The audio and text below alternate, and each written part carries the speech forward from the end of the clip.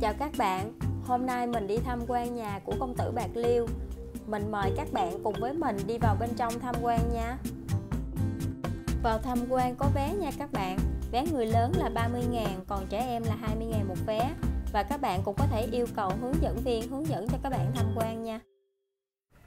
Thì ấn tượng đầu tiên khi mà mình bước vào trong căn nhà này thì mình thấy một chiếc xe ô tô thể thao hiệu Pilbro sản xuất năm 1922 thì đây là chiếc xe ô tô mà cha của công tử Bạc Liêu đã tặng cho công tử Bạc Liêu lúc ông đi du học ở bên Pháp trở về. Và theo thông tin ghi chép lại, thì chiếc xe Pilro thể thao này lúc bấy giờ cả miền Nam chỉ có hai chiếc. Một là vua Bảo Đại, hai là công tử Bạc Liêu. Biển số NBK018 chính là biển số gốc của chiếc xe cả vật liệu để xây dựng ngôi nhà này là được chuyển từ pháp về đó các bạn. Kể cả gạch lót sàn cũng vậy luôn. Tại vì hồi xưa việt nam mình chưa có. Và đây chính là gian đại sảnh chính của ngôi nhà mà cha của công tử bạc liêu dùng để tiếp quan quyền và khách quý hồi xưa đó các bạn. Ở sảnh có đặt một bộ trường kỷ được làm từ gỗ xưa đỏ, được gọi là trường kỷ ngũ sơn. Do hồi xưa không có hệ thống điều hòa như bây giờ, nên bộ trường kỷ ngũ sơn này đã được nghệ nhân đính đá cẩm thạch lên để làm mát và chỉ dùng để tiếp khách quý. Những hoa văn ở trên trần nhà là do một họa sĩ người Pháp vẽ bằng tay và tính đến thời điểm hiện tại là hơn 100 năm mà vẫn không thay đổi về màu sắc lẫn nét vẽ. Vì ngày xưa không có điện, nên chỉ sử dụng đèn cày và đèn dầu và đây là nơi nghỉ trưa của gia đình công tử Bạc Liêu nè các bạn.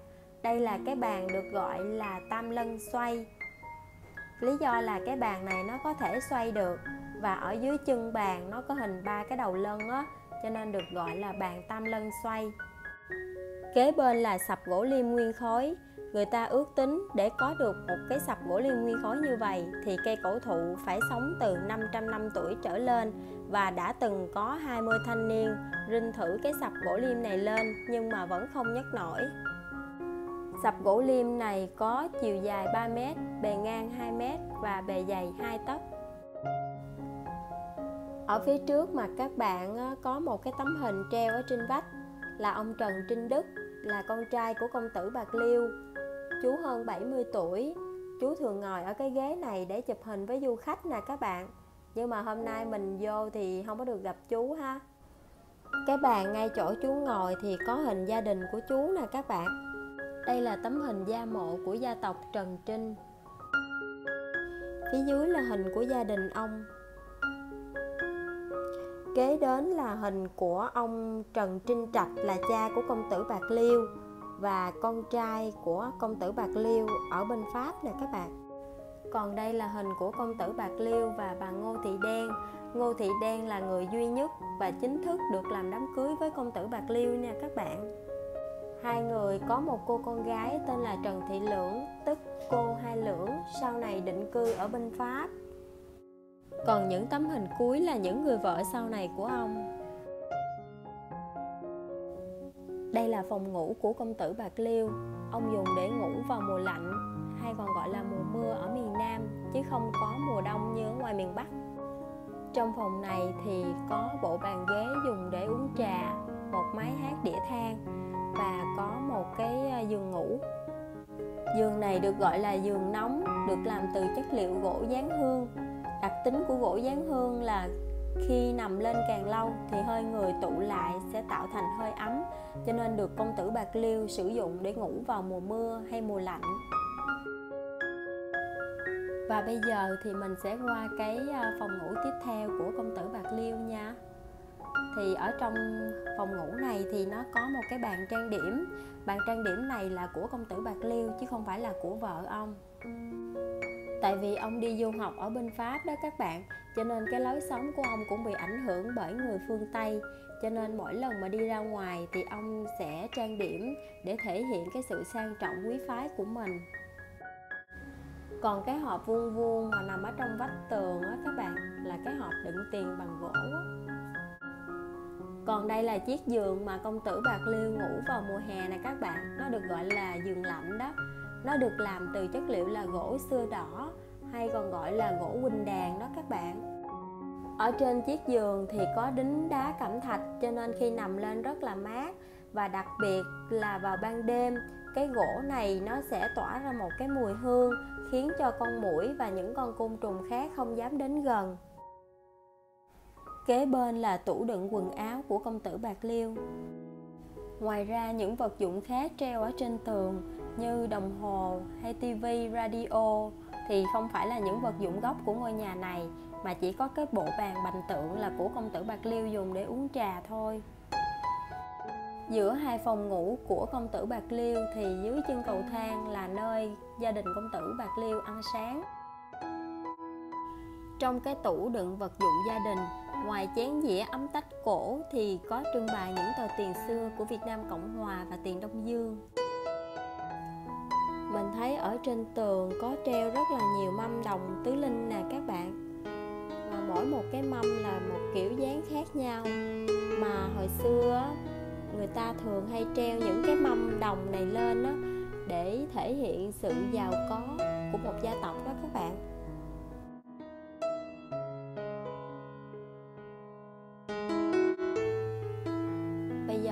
Mình sẽ tiếp tục đi lên lầu. Để mà tham quan tiếp, ở phía trên có gì nữa nha các bạn? Đây là phòng của cha công tử bạc liêu. Ông chỉ sử dụng duy nhất một chiếc giường, chứ không phải là hai chiếc giường như công tử bạc liêu. Giường của ông cũng là gỗ xưa đỏ và được đính đá màu đen, cho nên nằm vào mùa nào cũng được. Do ông bị bệnh hen suyễn, cho nên ông nằm ở trên lầu cho thoáng mát còn đây là cái hui ná của người hoa này các bạn. Nó giống như cái gầu môn để đựng thức ăn của mình vậy đó. Cái hui ná nó có cái lỗ tròn tròn ở phía trên là để người ta xỏ cái cây qua để gánh đó các bạn. Kế bên là cái dĩa dùng để cúng bánh in vào những ngày trăng rằm. Kích thước của cái bánh in cũng bằng với cái dĩa luôn. Và mỗi một lần cúng là cúng ba cái để thể hiện sự giàu sang phú quý của gia đình công tử bạc liêu đó các bạn còn đây là cầu thang gỗ mà cha của công tử bạc liêu dùng để đi lên sân thượng phơi tiền. Bởi vì tiền ngày xưa được làm bằng giấy mà những tá điền nộp tiền cho ông bị ướt, cho nên ông đã dùng riêng cái sân thượng này để phơi tiền. Còn đây là căn phòng mà công tử bạc liêu dùng để đánh bài với các công tử khác nè, các bạn đây là cái sập ba thành, dùng để à, cho những người bà con xa đến đây ngủ đó các bạn. Còn đây là cái bộ ghế mà công tử bạc liêu dùng để đánh bài. Một ván bài của ông là trị giá 10 cây vàng đó các bạn.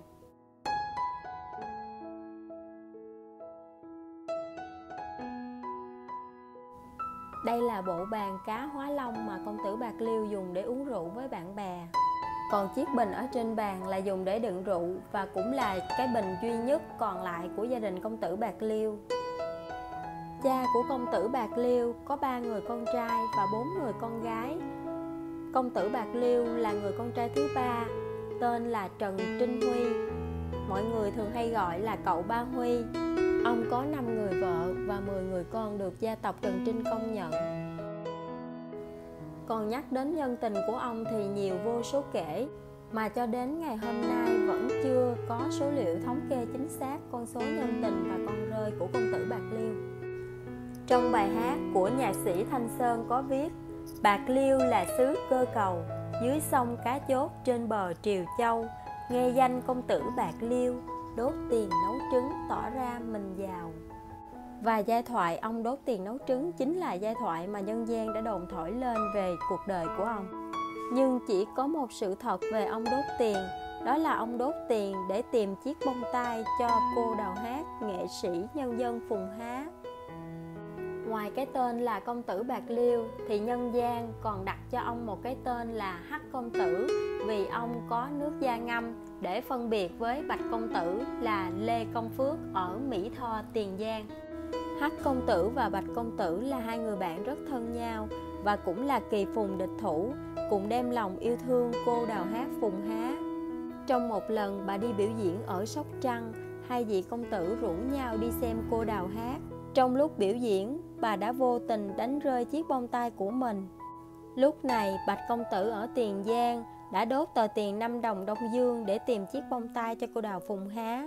Nhưng hắc công tử là công tử Bạc Liêu ở đây, ông không chịu thua bất kỳ một vị công tử nào, nên ông đã quyết định đốt tờ 100 đồng tiền Đông Dương, gấp 20 lần tờ tiền của Bạch công tử, trị giá 10 cây vàng. Ông đã đốt nhiều tờ tiền như vậy và may mắn là ông đã tìm được chiếc bông tai cho cô đào Phùng Há, nhưng chiếc bông tai ấy lại là một chiếc bông tai giả và có một điều thú vị ở đây là cô Đào Phùng Há lại là người vợ chính thức của Bạch Công Tử Lê Công Phước chứ không phải là vợ của công tử Bạc Liêu. Và cũng có thể nói ngày xưa vua Bảo Đại có cái gì thì công tử Bạc Liêu có cái đó. Vua Bảo Đại có một chiếc máy bay từ tiền ngân khố quốc gia và có một phi công đặc biệt chở ông đi công vụ.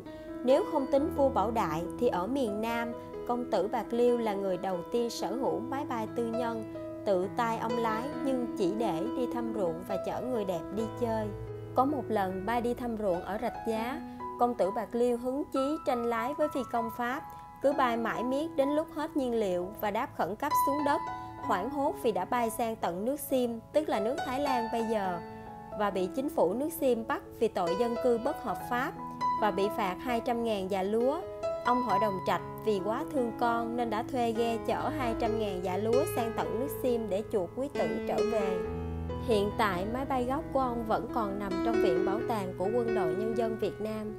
Ngày xưa người ta trọng nam khinh nữ, nhưng công tử Bạc Liêu lại là người đầu tiên tổ chức cuộc thi đấu xảo sắc đẹp và cũng chính là cuộc thi Hoa hậu bây giờ. Cuộc thi rất là lớn và giải thưởng rất cao mà ban giám khảo chỉ có một mình công tử Bạc Liêu tất cả những người đẹp được ông tuyển chọn thì sau này lần lượt đều là người tình của ông người ta đi du học bên Pháp 3 năm có một tấm bằng bằng tiến sĩ hoặc là bằng thạc sĩ. Còn công tử Bạc Liêu thì có đến hai bằng bằng lái xe hơi và bằng lái máy bay. Đặc biệt ông biết nhảy đầm và nhảy rất là giỏi. Người đời không chỉ nhắc và nhớ về công tử Bạc Liêu ăn chơi hào phóng mà người ta còn nhớ về ông với hình ảnh nhân đạo. Ngày xưa, đối với người giàu, ông không xu nịnh, đối với người nghèo, ông không khinh rẻ. Trong một lần, cha của công tử Bạc Liêu bắt ông đi đòi nợ các tá điền. Khi ra ngoài thực tế, ông thấy dân mình đói khổ, mùa màng thất bát, nên ông về nhà xin cha của mình xé bỏ giấy nợ để xóa nợ. Trong khi ông hội đồng trạch còn chần chừ, thì trong ngày 30 Tết, công tử Bạc Liêu đã đem ra một cái thố và cho tự tay tá điền lấy giấy nợ của mình bỏ vào thố để đốt. Công tử Bạc Liêu thừa hưởng toàn bộ tài sản của cha mẹ để lại.